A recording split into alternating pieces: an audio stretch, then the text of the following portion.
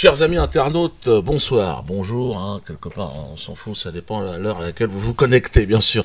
Alors, ce soir, euh, une émission particulière, spéciale, émission vérité, vérité historique, vérité à jamais, vérité pour l'univers. Deux invités de marque ce soir, enfin un invité de marque.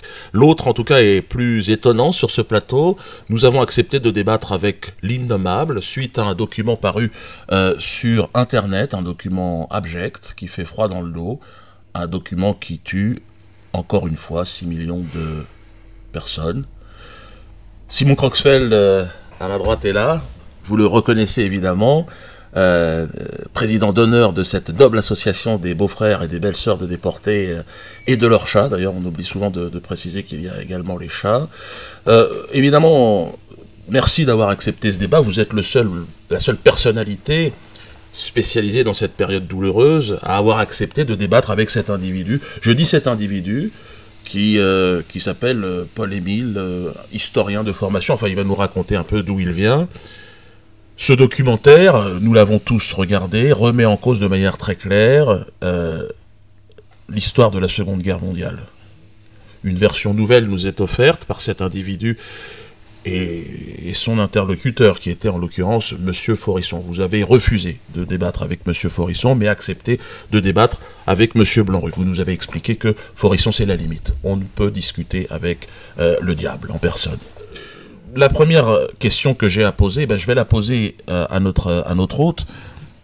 Parce que vous avez produit, n'avez-vous pas l'impression d'avoir blessé des gens, heurté des sensibilités, heurté une croyance Peut-on, comme vous l'avez fait, donner la parole à un homme qui remet en cause euh, l'histoire, qui remet en cause la souffrance? Bah, On peut le faire dans la mesure où je l'ai fait. Euh, donc euh, évidemment, ça a été fait et ça a un grand succès sur Internet. Je suis assez content, ça se voit bien. Évidemment, il y a la conspiration du silence habituel des amis de Monsieur Crockfeld qui font semblant euh, de faire en sorte que ce document n'existe pas, qui n'osent même pas nous attaquer en procès. Enfin, c'est assez d'ailleurs lamentable hein, de votre part. Il faut, quand même le dire. Et Monsieur Crockfeld qui n'a même pas le courage d'attaquer Forisson, il n'a même pas le courage de débattre avec lui. Moi, je suis un modeste représentant de Forisson. Là, je ne suis qu'un réalisateur de films. Voilà. Il se trouve que Forisson, pour moi, n'est pas le diable. Il se trouve que c'est un homme. Euh, c'est pas le salaud intégral, comme le disait la sioniste. Non, c'est un homme, un être humain. Alors, comme disait La Fontaine, les hommes euh, sont euh, de glace aux vérités et ils sont de feu pour les mensonges. Et moi, j'ai trouvé en Forisson un homme qui était de feu pour les vérités, ou tout au moins pour l'exactitude. Voilà. Oui, certainement une réponse. Vous l'avez vu, ce Forisson. Vous avez vu cette tête. On peut juger par l'apparence. On voit immédiatement que le personnage est ignoble. Voilà. Non, j'admets qu'il a une sale tête. Il a une sale tête. Non, excusez-moi, j'applaudis parce que j'ai envie de vomir. Mais c'est un peu de morphopsychologie, vous savez, c'est pas très scientifique. Bon, on pourra en discuter longtemps. Peut-être. En tout cas, je voudrais relever un point de ce que vous nous avez dit.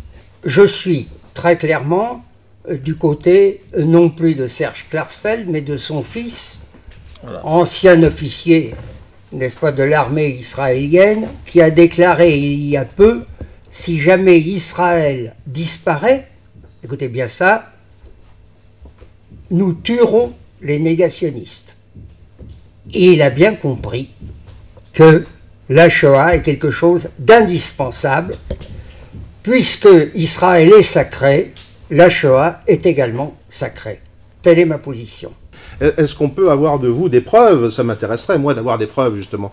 Parce que sur Internet, d'ailleurs, notre ami Jean Bricmont euh, a, lancé une sorte de défi aux historiens. C'est-à-dire, il leur a dit, voilà, il y a un documentaire, et il faudrait euh, répondre à ces arguments. Peut-être que Forisson ment, mais au moins lui répondre avec des arguments concrets. Là, vous ne répondez avec aucun argument. Là, vous répondez, c'est l'argument d'autorité, même pas, c'est un argument biblique, c'est Dieu a parlé, enfin, c'est Yahvé. Euh, il y avait fils, c'est l'entreprise. Restez poli quand même, nous sommes, s'il vous plaît, restez quand même dans, dans le cadre de la. Hein, oui. vous, ne pensez pas que je vais entrer dans votre jeu. Et puis de toute façon, je vais vous dire une chose. Je me rallierai volontiers à une thèse qui a été soutenue en 1987 par Madame Ida Zaidel, Z-A-J-D-E-L, et qui a dit ceci. Et alors, je mets au défi de répondre à cet argument. En fin de compte, tout bien pesé. Bon, eh ben, peut-être que les chambres à gaz n'ont pas existé. Mais si elles ont existé, c'est uniquement du fait des nazis qui ont fabriqué cette calomnie pour tourner les juifs en dérision et avec l'idée que ça serait une bombe à retardement contre nous autres.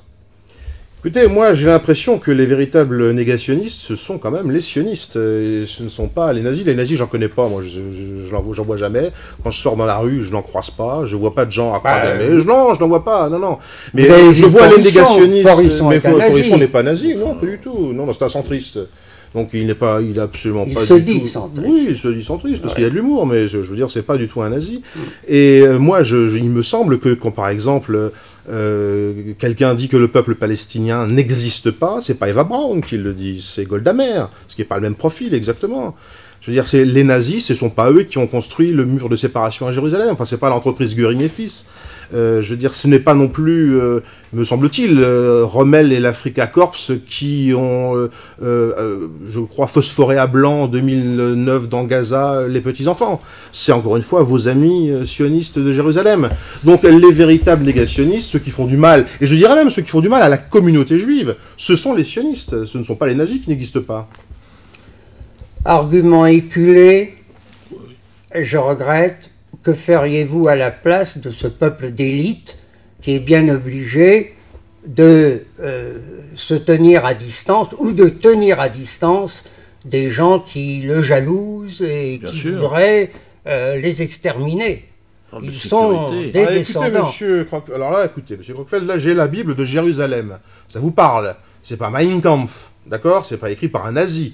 C'est écrit, je crois, par- en partie par Moïse, dont vous êtes un descendant en ligne directe, il me semble. Oui. Bon, alors je vois, dans le Deutéronome, par exemple, je vais vous lire quelques, quelques phrases simplement à propos d'extermination, parce que vous nous la baillez belle avec vos exterminations. Alors je vois, c'est peu à peu que Yahvé ton Dieu détruira ces nations devant toi. Tu ne pourras les exterminer sur le champ, de peur que les bêtes sauvages se multiplient à ton détriment, mais Yahvé ton Dieu te les livrera, et elles resteront en proie à de grands troubles jusqu'à qu'elles soient détruites. Il livrera leur roi en ton pouvoir, et tu effaceras leur nom de dessous les cieux. Nul ne tiendra devant toi jusqu'à ce que tu les aies exterminés. Voilà, ça date d'il y a 2500 ans, c'est pas d'il y a 50 ans.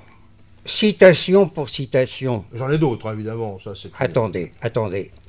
Daniel, Je vous l'offre. le prophète Daniel, vous savez ce qu'il a dit de gens comme vous?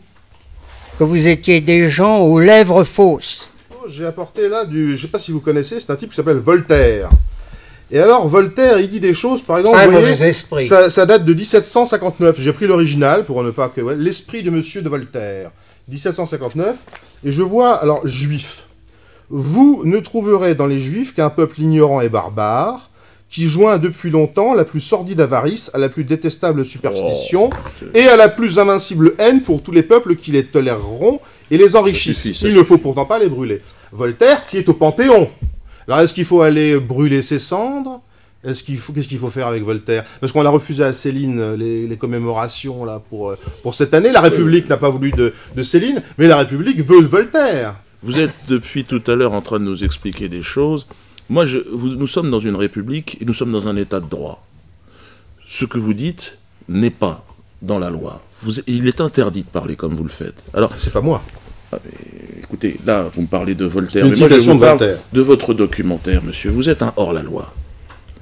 Vous vous situez en dehors des règles parce que nous, nous avons défini des règles pour vivre ensemble, harmonieusement, nous respecter, respecter les C'est moi qui les ai définis. hein. Alors, oui, mais nous, nous devons les respecter. C'est une assemblée, euh, cette loi euh, Fabius Guesso, qui est une loi qui s'est imposée d'elle-même.